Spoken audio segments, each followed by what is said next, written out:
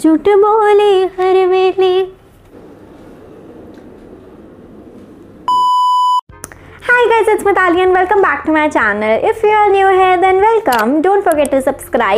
आज हम फाइनली कुछ बहुत एक्साइटिंग करने वाले हैं। मतलब आज वो दिन फाइनली आ चुका है। जब हम अपने बालों को फाइनली वो कलर करने वाले हैं, जो हम करने वाले थे विच इज़ वंडर ब्लू मैं अपने बालों की प्री लाइटनिंग करी थी काफ़ी दिन पहले एंड मुझे ये ऐसे ही पसंद आ गए थे तो मैंने सोचा कि कुछ दिन ऐसे ही रख लेती हूँ। वो वीडियो का लिंक मैं यहाँ पर, या यहाँ पर जो भी डाल दूँगी आप लोग वो वाली भी चेक कर सकते हैं। एंड आज हम फाइनली बालों को ब्लू कलर करने जा रहे हैं। मैं इतनी ज़्यादा एक्साइटेड हूँ। मैंने एक पैच टेस्ट कर लिया है, जो पीछे है। मैं वो आपको दिखाना नहीं चाहती थी, क्योंकि वो कहीं ना कहीं फाइनल कलर रिवील हो जाता। एंड या फटाफट से अभी कलरिंग शुरू करते हैं। सबसे पहला काम काम आ, मैं ज्वेलरी उतार लेती हूँ एंड मैं टी शर्ट बदल लेती हूँ। मैं फटाफट से चेंज करके आई। सो so, हमारी सखी सहेली वापस आ चुकी है। ये वाली टी शर्ट जो हमने प्री लाइटनिंग के वक्त भी पहनी थी। हेयर कलर अगर किसी को नहीं पता है हेयर कलर में ना दो स्टेप्स होते हैं। एक प्री लाइटनिंग होता है और एक जो है एंड में कलर करना होता है। आज हम यूज़ करने वाले हैं स्ट्रीक्स का colour hold and play wonder blue colour में मैं यूज़ करने वाली हूँ। एंड प्री लाइटनिंग मैं पहले कर चुकी हूँ जैसा कि मैंने बोला कि मैं आई ऊपर या इधर जहाँ भी मतलब वहाँ पर आपको लिंक दे दूँगी ये वाली वीडियो का भी। एंड या फटाफट से जो है मैं अपने बालों को चार सेक्शन में डिवाइड कर लेती हूँ। Okay I know I look kind of funny right now but anyways we are gonna work with it क्योंकि मैं तो बहुत ही एक्साइटेड हूँ कि क्या रिज़ल्ट आने वाले हैं। मैं कैसी दिखने वाली हूँ? थोड़ा दूर हो जाती हूँ सोफे से ताकि सोफे पे कलर टच नहीं होना चाहिए। ओके okay गाइस मैंने ना माइक थोड़ा सा दूर रख दिया है क्योंकि वो गंदा ना हो जाए तो उसका थोड़ा सा वॉइस का इशू हो सकता है। But anyways let's get started सबसे पहले हमें सबसे इंपॉर्टेंट काम करना है वैसलीन लेनी है। एंड उसको पिछली वीडियो की तरह ही मैंने जो गाइडलाइंस दी थी कि उसको अपने नेक के अराउंड फोर हेड के अराउंड हर जगह लगा लेना कि कहीं भी आपको जो है कलर चढ़ना नहीं चाहिए आपकी बॉडी पे, क्योंकि ये कलर ना पक्का होता है। एंड ग्लव्स पहनने आर मोस्ट इंपॉर्टेंट नहीं तो आपके हाथ ब्लू हो जाएँगे और वो दो तीन दिन तक नहीं जाते हैं। ये मैंने ट्राई करके देख लिया है। Okay now comes the very important step हम इसको डालेंगे इस बोल में। So satisfying. So this is the blue colour जो बहुत ही डार्क है. एंड एक्चुअली में भी थोड़ा सा डार्क सा ही शेड आता है. मतलब मैंने जो पैच टेस्ट किया है ये पता है वो कलर आ रहा है. मुझे बहुत साल से चाहिए था ये इमेज अब मुझे डाउट है कि जब मैं पूरा करूँगी तो वो सेम लुक आएगा या नहीं आएगा. Anyways I don't know end में क्या होने वाला है.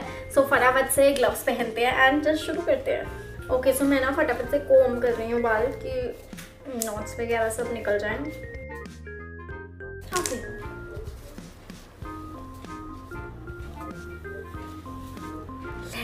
Started. Okay okay, so so मैंने लेफ़्ट साइड से बालों में कलर लगाना शुरू करा है एंड जैसा कि आप देख सकते हो कि मैंने सबसे पहले आगे की जो है फ्लिक ली एंड मैं उस पर कलर लगा रही हूँ एंड मैं थोड़ा थोड़ा करके ना खोल खोल के ऐसे देख रही हूँ बालों को कि अंदर तक कलर अच्छे से जाना चाहिए एंड देन मैं पीछे से एक और फ्लिक ले रही हूँ। मैं थोड़े छोटे सेक्शंस में ही जो है कलरिंग कर रही हूँ, ताकि हर एक बाल पर इवनली कलर लग जाए। एंड देन यहाँ पर मैं फिर से सेम ही प्रोसेस रिपीट कर रही हूँ। एंड जैसा कि आप देख सकते हो, मैं यहाँ पे एक एक बाल खोल कर देख रही हूँ, ताकि एक एक बाल पे जो है अच्छे से कलर लगना चाहिए। एंड उप्स शिट यार, कैसे हटाऊँ? इसको ये हटेगा नहीं। ओके सो फ़र्स्ट सेक्शन हो गया था एंड अभी मैं exact same process second side में भी मतलब सेकंड सेक्शन में भी रिपीट करने वाली हूँ।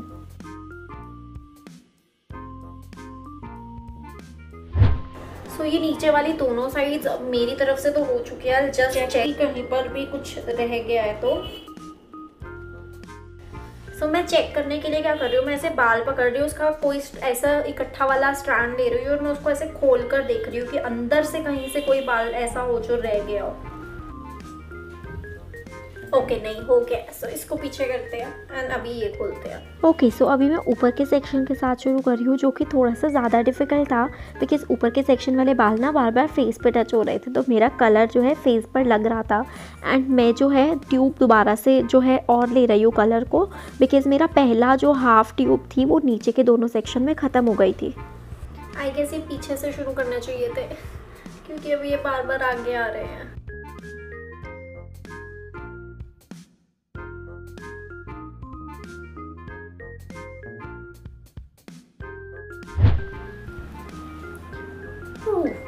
This section is done as well and अभी बस ये रह गया है। Colouring your hair is like बहुत ज़्यादा आसान प्री लाइटन करने से, क्योंकि वो तो अलग ही लेवल का टास्क था। वो तो उस दिन तो दो घंटे लग गए थे मुझे। अभी तो ये फिर भी फटाफट फटाफट हो रहा है सब कुछ।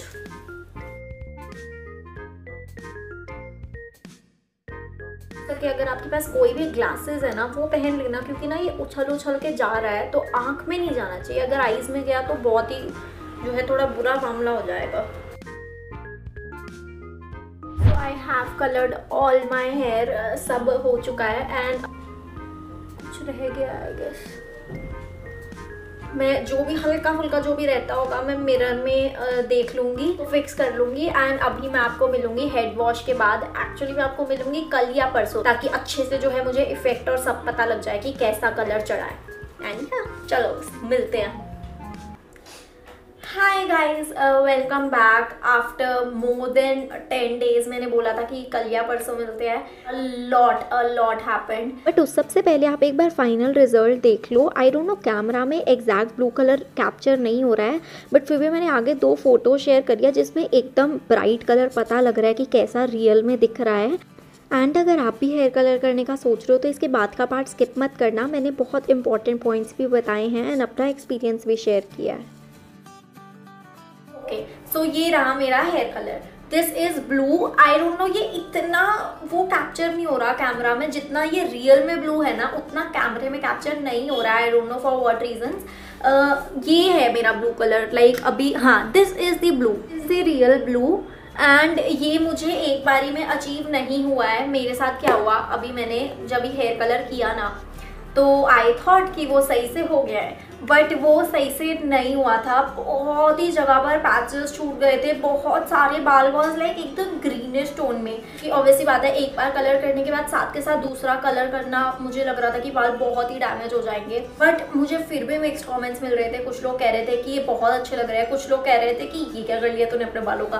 फिर भी था कि जो जो मेरे ब्लू हैं वो धीरे धीरे फेड होके ग्रीन पे जाएँगे। जो मेरे ग्रीन है, वो धीरे धीरे फेड होके ब्राउनिश उसमें चले जाएँगे फेड होते जाएँगे। तो फिर मुझे हुआ कि ये तो मेरा ज़्यादा टाइम स्टे ही नहीं करेगा। मैंने सोचा कि चलो, अभी तो थोड़ा सा टाइम हो गया। मैंने नेट पे भी कोरा वगैरह पे भी पढ़ा। हाँ लिखा हुआ था कि after like ten to fifteen days it is okay to redo your hair थोड़े से डैमेज ऑब्वियसली होंगे बट फिर भी मतलब एकदम से मत करो दस पंद्रह दिन रुक जाओ। एंड मैंने इसको परसों जो है दोबारा से हेयर कलर किया। How when I done it like two times एक बार किया, उसके बाद फिर से सारे बाल दोबारा से मैं ये किसी को भी रिकमेंड नहीं करना चाहूँगी बिकॉज़ मेरे बाल जो है ना, मेरे बाल लाइक वैसे से काफ़ी हेल्दी हैं।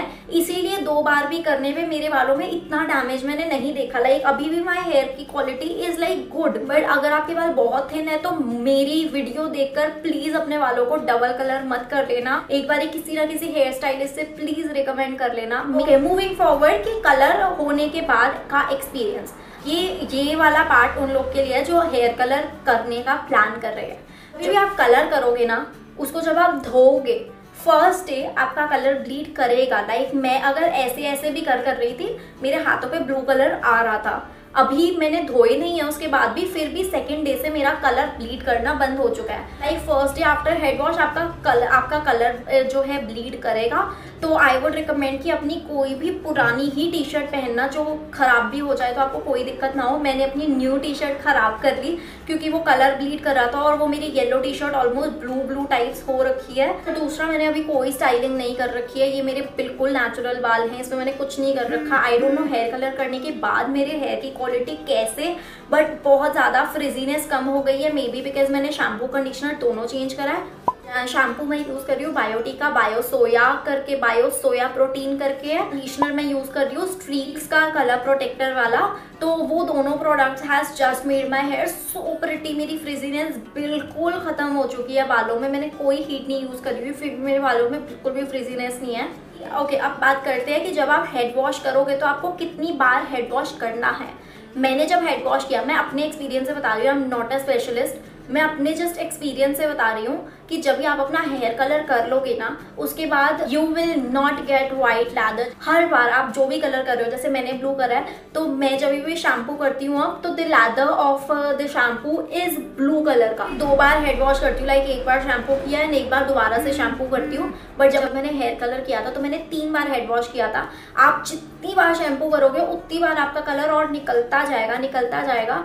But I don't know what is with the conditioner मैं जैसे ही कंडीशनर लगाती हूँ it kind of locks my hair, उसके बाद का जो पानी होता है ना, बालों में डालने के बाद, वो काफ़ी लाइट होता है। बट क्या उसके बाद भी आप रेगुलर भी जब हेड वॉश करोगे ना तो हर पाई कलर ब्लीड होगा एंड पानी का कलर ब्लू या आपने रेड या पिंक जो भी करा है, वो कलर का ही पानी आपको मिलने वाला है। नेक्स्ट वेरी इंपॉर्टेंट पॉइंट मैं आपको ये बताना चाहूँगी कि मैं जैसे एक दिन में ही पैनिक कर गई थी ना कि शट ये मेरे बालों को क्या हो गया है। जो आपके बाल लाइक हेड वॉश करने के एक दिन बाद है ना कम से कम दो, तीन, चार दिन वेट करो मैंने जब प्री लाइटनिंग भी करी थी ना, मैंने तब भी ये चीज़ नोट करी थी कि तीन, चार दिन बाद ही जाके एक्चुअल लुक मुझे पता लगा था कि मेरे वालों का कैसा लग रहा है। एंड हेयर कलर करने के भी तीन, चार दिन बाद ही I don't know maybe shade में कुछ फ़र्क आता है या क्या होता है बट तीन, चार दिन बाद ही I was kind of starting liking it कि हाँ अच्छा तो लग रहा है, बुरा नहीं लग रहा। Even now my hair are not looking जो ओरिजिनल कलर है but I am loving it इतना ज़्यादा सुंदर ब्लू कलर आया है। And yeah that is all I wanna share about my hair color journey hair color is suiting my personality